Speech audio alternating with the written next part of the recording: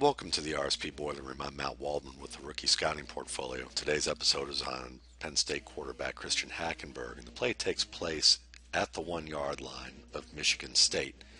And it's a play where we're going to get to see something that Christian Hackenberg has to do a better job of all around in his game, and that's show some anticipation and to show touch with the football.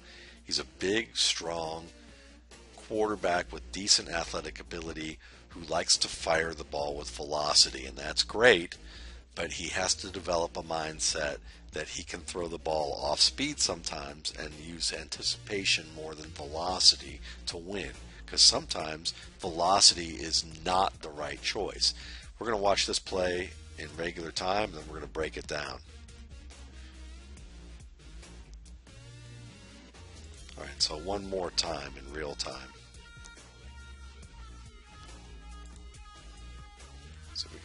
All the way back here. All right. So what you have is a play action boot. Nice little play fake there. Gets to the top of his roll and he extends the roll. This receiver is the man I'm circling, this tight end working to the back corner. Hackenberg feels the need to have to work all the way around this pursuit, get his shoulders around, and fire the ball with the laser cannon throwing it a little bit behind the defender with velocity, and it goes through the receiver's hands. And sure, the receiver probably should have caught this pass. In the NFL, might have caught this pass and it would have been a touchdown instead of a dropped ball. But I'm going to contend that Hackenberg made this much harder than he needed to. I'm going to show you why. We're going to break this down in halftime. So this is the receiver he's going to be seeing here, number 81.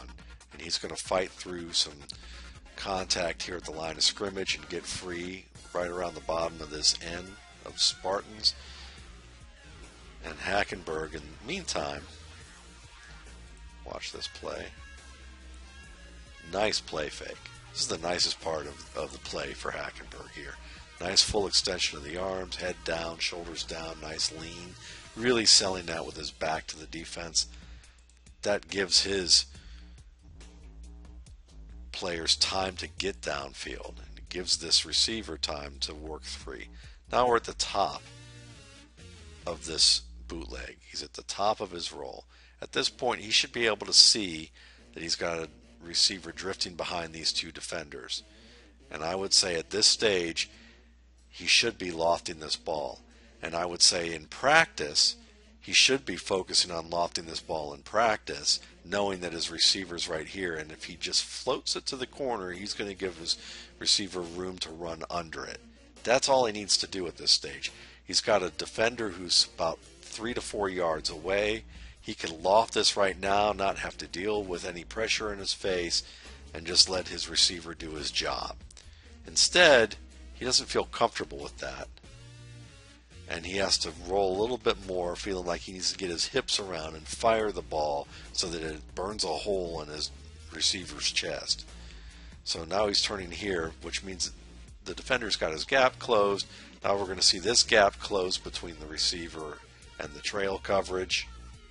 And still here, this is a point where he still could have just lofted this ball if he had thought about it just two steps ago.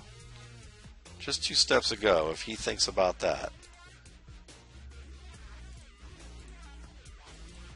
I mean, he thinks about here one, two, throw. He could have thrown that ball instead, this would have been easy.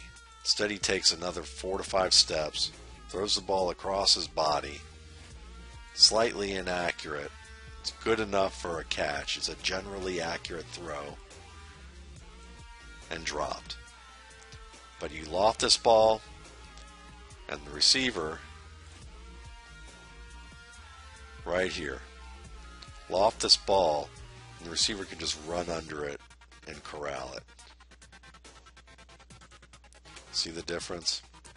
To me, that's the difference between a quarterback who makes his job easier for his teammates and a quarterback who makes the job harder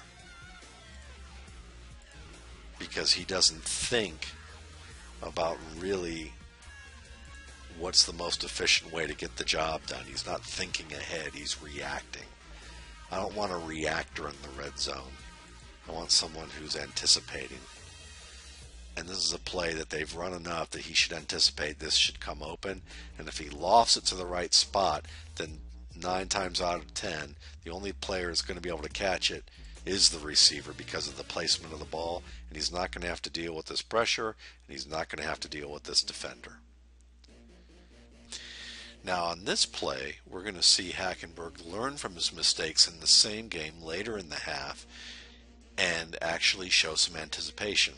And one of the things that I really like about this play is that he points out the pressure to his defense before the snap. He actually, he actually climbed to the line and pointed out the middle linebacker. Later, he points out this outside linebacker, and there's also outside pressure to the right. And what he's going to do on this play is actually loft a football with pressure in his face and just throw it to a spot for his receiver to run under and catch. It's a really nice play, and it's one that he didn't do earlier in the game. You can see it here where he just lofts it under there, and it's nicely done. So it's something that you'd like to see, you know, him get better at doing this on a regular basis because here's the play from before where he could have lofted it here, and instead he lasers it in. Now here we are, later in the half, and while it's not a rollout, you can still see him learn from that mistake and just put some air under the ball, let his receiver get it. This is the kind of work that gives people some encouragement about Christian Hackenberger because he's a guy with really nice tools but does he have the mental acumen to play the position at the highest level? There were two plays on this particular drive where he showed the ability to learn from mistakes that he made in previous drives. So I can understand why some people might be hopeful about him. Um, he's definitely one of the more intriguing prospects in this draft class at the quarterback position. Thanks again for listening. I'm Matt Waldman with the Rookie Scouting Portfolio. You can find more of my work at my blog at www.mattwaldmanrsp.com or my YouTube channel, The RSP Film Room.